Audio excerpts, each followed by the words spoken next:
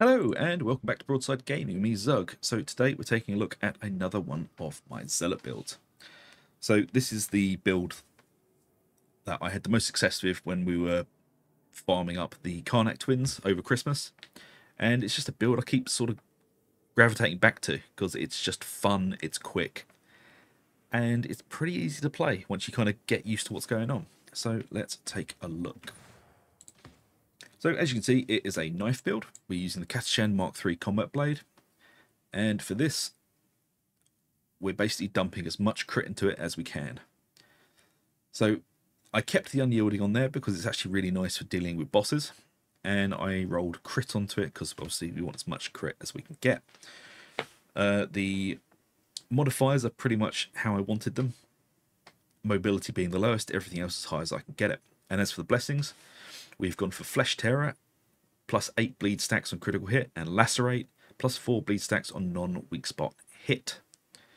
So this is a brawler build, not quite... Um, you don't have to be as accurate with this build as you would with other knife builds. Other knife builds require you to always hit weak spots to keep it rolling. This build wants you just to hit anywhere but. So,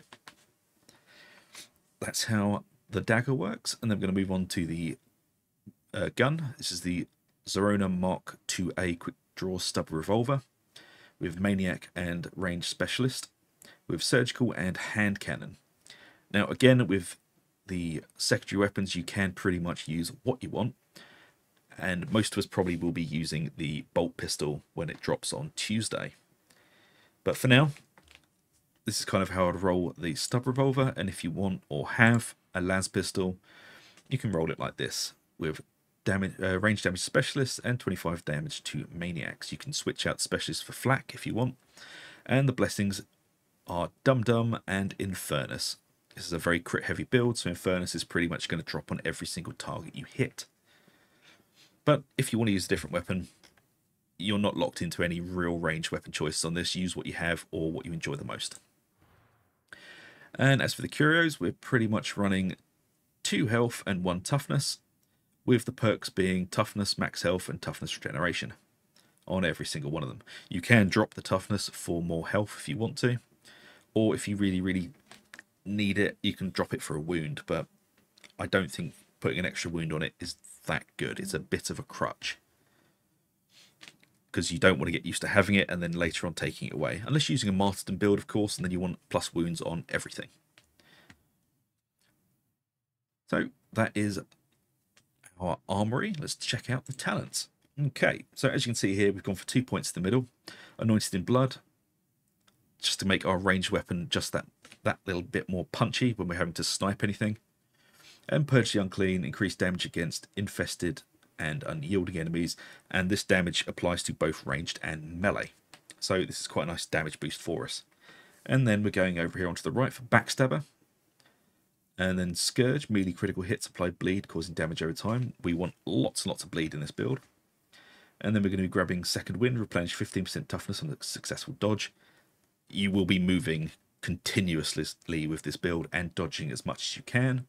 And then Enduring Faith, 50% toughness damage reduction on critical hit for 4 seconds. Most hits are going to be critical hits. And then we're going to take the Blades of Faith. When this first came out, I wasn't that impressed with it, but after playing with it for a few months, I can see how good this is. It is very good for just launching at something that's slightly outside of your reach, or you can't switch to your gun, and this thing will pretty much one-shot anything if you can get it, get a headshot in. And they're going to grab down here into Dance of Death, 75% spread and, and recoil for 3 seconds on successful dodge, but we mostly want it for Thy Wrath Be Swift. Enemy melee attacks cannot stun you. On taking damage, you gain 15% movement speed. We want to be moving and moving quickly at all times.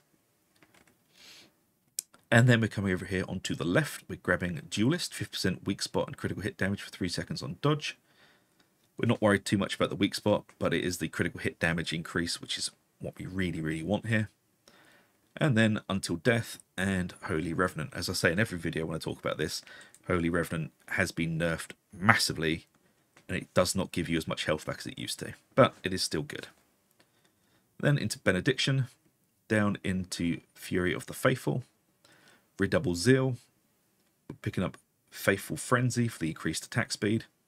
Then coming down here for Punishment, into Invocation of Death. Melee critical hits reduce combat ability cooldown. As I said in the last video, this ability plays off this and this plays off that, so they should keep each other rolling continuously as long as you're fighting. And then into Blazing Piety, 15% critical hit chance for 8 seconds when in Fury. Fury is triggered when 25 enemies have died within 25 meters. In most games, that will happen pretty damn quickly. Especially if you're playing Damnation or Auric Damnation, there will be many enemies all the time.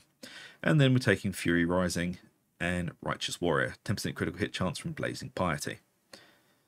So, all of this is good and gives us lots and lots and lots of crit. So this, as I said, is more of a brawler build. With other knife builds, you have to be very careful to try and hit weak spots.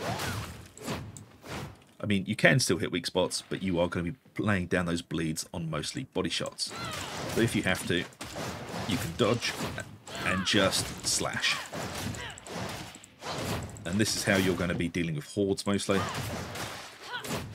Dodging, slashing, and just keeping everything bleed stacks on. And if anything is slightly harder to kill than a normal mob,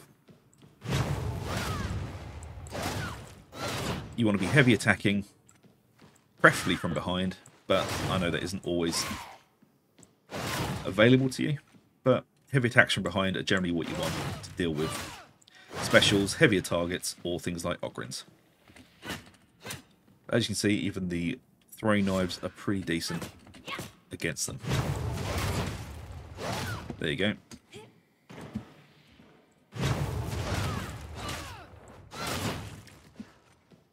And this even works against Bulwarks and Crushers, although obviously it's not quite as effective against the Crushers. But when you're rolling through a fight instead of just standing behind it trying to get it to proc, you will have the crit rolling at all times. But yeah, that's how the Brawler build works, and I've had quite a lot of success with this build.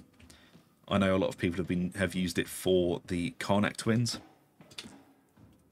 and this is more of a fun, fast-paced, not sort of a, it's not a, a guided narrow arrow killing specific targets. This is just a fun, keep you in the fight, heavy brawler build, as I said. But I do hope you folks like it. And I'll just show the talent tree one last time before we go.